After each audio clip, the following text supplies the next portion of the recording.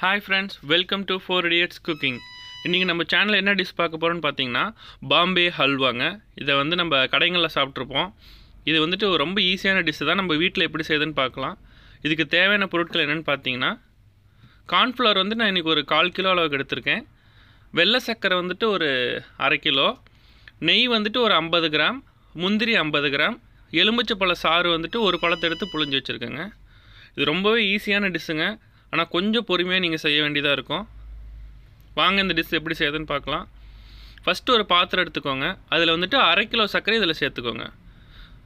மறந்துடாதீங்க. கண்டிப்பாக இந்த டிஷ் வந்து நீங்கள் லோ ஃப்ளேமில் தாங்க செய்யணும்.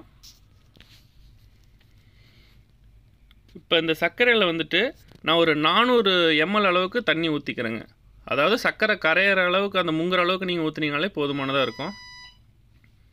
தண்ணி சேர்த்ததுக்கப்புறமா நல்லா கிளறி விட்டுக்கிட்டே இருங்க. அதாவது இந்த பாகு வந்துட்டு கம்பி பதத்துக்குலாம் வரணுங்கிற அவசியம் இல்லை. சர்க்கரை நல்லா கரைஞ்சாலே போதுமானது. அடுத்தது ஒரு பவுல் எடுத்துக்கிட்டு அதில் கார்ன்ஃப்ளவர் எடுத்துக்கோங்க. கார்ன்ஃப்ளவர் எடுத்ததுக்கப்புறமா அதில் ஒரு ஐநூறு எம்எல் அளவுக்கு தண்ணி ஊற்றிக்கலாம் இந்த நல்லா மிக்ஸ் பண்ணி விட்டுக்கோங்க இதை. இது வந்துட்டு நல்ல ஒரு பால் பதத்துக்கு வரணும். இன்கேஸ் தண்ணி பத்தலாம் நீங்கள் கொஞ்சம் தண்ணி சேர்த்துக்கோங்க. அடுத்தது இதில் வந்துட்டு நான் இன்றைக்கி ஆரஞ்சு ஃபுட் கலர் யூஸ் பண்ணியிருக்கேன் உங்களுக்கு வேணால் நீங்கள் எல்லோ யூஸ் பண்ணிக்கலாம். ரெட் யூஸ் பண்ணிக்கலாம். இல்லை ஃபுட் கலரே வேண்டாம்னாலும் ஓகே அது உங்களோட சாய்ஸ் தான். இப்போ பார்த்திங்கன்னா நம்மளோட சர்க்கரை பாகு வந்துட்டு நல்லா கரைஞ்சிருக்கு. நல்ல ஸ்டேஜ்லேயும் இருக்குது இதில் வந்துட்டு நம்ம மிக்ஸ் பண்ணி வச்சுருக்க அந்த கார்ன்ஃப்ளவர் ஸ்டார்ச்சை வந்து இதில் ஆட் பண்ணிக்கலாம். பாருங்கள் அந்த கலரிங் வந்துட்டு பார்க்கவே கண்ணை பறிக்குது. செம்மையாக இருக்கும் இன்றைக்கி மறந்துடாதீங்க இந்த டிஷ் லோ ஃப்ளேமில் தாங்க குக் பண்ணணும்.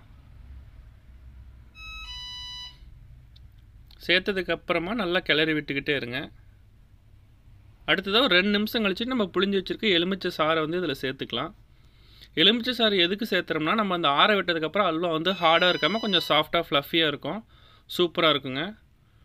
இது வந்துட்டு ஒரு பத்து நிமிஷம் நல்லா லோ ஃப்ளேமில் வச்சு கிளறி விட்டுக்கிட்டே இருங்க. இப்போ பத்து நிமிஷம் கழித்து பார்த்தீங்கன்னா நம்மளோட ஹல்வா வந்துட்டு நல்ல பதத்தில் வந்துருச்சு.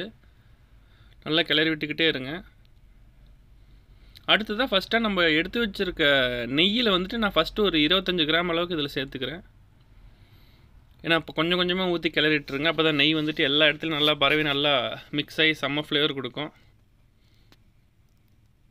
இப்போ பார்த்தீங்கன்னா நல்லா பதத்தில் வந்துருச்சு. பார்த்தீங்கனாலே உங்களுக்கு தெரியும். எந்த பக்கமும் ஒட்டாமல் நல்லா சூப்பராக இருக்குது அடுத்ததாக இதில் வந்துட்டு நான் ஒரு நாற்பது கிராம் அளவுக்கு நல்லா நுணுக்கி வச்சுருக்க முந்திரி இதில் சேர்த்துக்கிறேன். உங்களுக்கு என்ன நீங்கள் பாதாம் பிஸ்தா எதுனாலும் சேர்த்துக்கலாம். முந்திரி சேர்த்ததுக்கப்புறமா நான் மீதி இருக்க நெய் இதில் சேர்த்துக்கிறேன். உங்களுக்கு நெய் எனக்கு அவ்வளோ வேண்டாம் கம்மியாக வேணால் நீங்கள் நெய் கம்மியாகவும் ஆட் பண்ணிக்கலாம். அது உங்களோட சாய்ஸ் தான். இப்போ பார்த்தீங்கன்னா நல்லா ஒரு பர்ஃபெக்ட் ஸ்டேஜில் நம்மளோட ஹல்வா ரெடி ஆயிடுச்சு இந்த ஹல்வா நம்ம என்ன பண்ண போகிறோம்னா நீங்கள் எந்த பிளேட்டில் வேணாலும் நீங்கள் எடுத்துக்கலாம். இல்லை பாக்ஸ்லேயும் கூட நீங்கள் எடுத்துக்கலாம். எடுத்துகிட்டு அதில் கீழே கொஞ்சம் கீ அப்ளை பண்ணிவிட்டு நீங்கள் அந்த ஹல்வாவை வந்துட்டு போட்டு வச்சுக்கோங்க. இதை வந்துட்டு ஒரு ரெண்டு மணி நேரம் ஆற விட்டுருங்க. அதுக்கு முன்னாடி நான் வந்துட்டு கொஞ்சம் மீதி இருக்க முந்திரியை போட்டு கொஞ்சம் கார்னிஷ் பண்ணிக்கிறேன். இப்போ ரெண்டு மணி நேரம் கழித்து பார்த்தீங்கன்னா நம்மளோட சூப்பரான பாம்பே ஹல்வா ரெடி.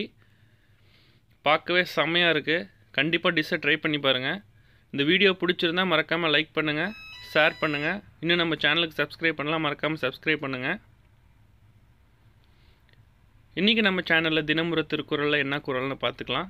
கண்டிப்பாக படித்து பாருங்கள் மீண்டும் ஒரு நல்ல வீடியோவோட உங்களை சந்திக்கும் வரை உங்களிடமிருந்து விடைபெறுவது உங்கள் ஃபோர் இடியட்ஸ் குக்கிங்